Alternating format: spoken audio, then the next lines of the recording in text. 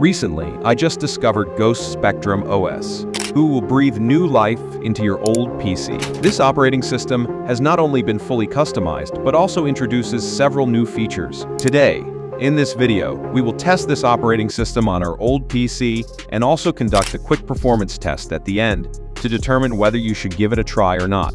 One more thing, installing this OS is completely safe. It won't harm your previous Windows installation. So let's start the video. First of all, you need to download this zip file and Rufus. You will find the download link of these two files from my website. And if you encounter any issues with downloading, I have provided a tutorial link in the description. After downloading, the first step is to extract the zip file. Then, you need to run Rufus and drag the extracted ISO file into Rufus. Below, you will see an option where you can set it according to your preferences. After doing this, you can start the process. After the process is complete, you need to restart your PC. Immediately after restarting, you should access your system's boot menu. If you're unsure how to access the boot menu, you can click on the I button for instructions or check the link provided in the description for a tutorial. As you can see, the developers of this OS have taken the startup interface to the next level. Now you can access your previous Windows files from here. Additionally, a Start menu has been added where you can access System Apps.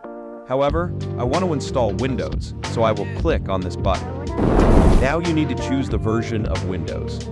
I would recommend selecting the second last option because it runs without Windows Defender, which means it will run without lag. However, if you need some security, you can choose the last option. After that, click on Custom and select the partition where you want to install it. Make sure that the partition you select does not contain the previous Windows installation. After the setup is complete, your system will restart about 6 to 7 times, so you need to be patient. After 3 to 4 restarts, you will see the boot menu. From there, select Windows 10. After that, enter your username and password. After entering the password, a screen like this will appear. Do not close it otherwise. You may face problems. After this is complete, a pop-up will appear where you need to select the latest version of Windows. As soon as you select it, your PC will restart one last time. After the restart, the command prompt will open on your system, which you should not close. So guys, finally our operating system has been installed, and it took about 3 to 4 hours for the installation to complete. But finally, the OS is installed. You can see how smoothly it's running. Now let's talk about the new features that have been added. The first feature introduced in it is called Ghost Mode, which you can access by right-clicking on the desktop. From here, you can further increase the performance of your PC, and at the same time, you can directly clean junk from here as well. There are also other tools like God Mode, Ping Test, Reduce Memory, etc. Additionally, if you go to the Start menu, you'll find all the bloatware apps has been removed, which I found quite impressive. If I show you the RAM and CPU usage in the Task Manager, you'll see that both are slightly high right now because I'm using a screen recorder.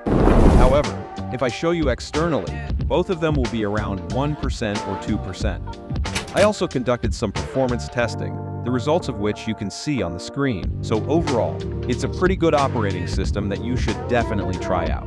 I personally liked it a lot. It does have some minor security issues, but if you're just into gaming, you can surely give it a try. In my opinion, I'd give it a rating of 9 out of 10 because it's much faster than Windows 7. Whether you like this OS or not, be sure to let me know in the comments.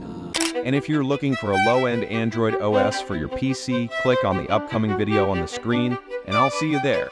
Goodbye.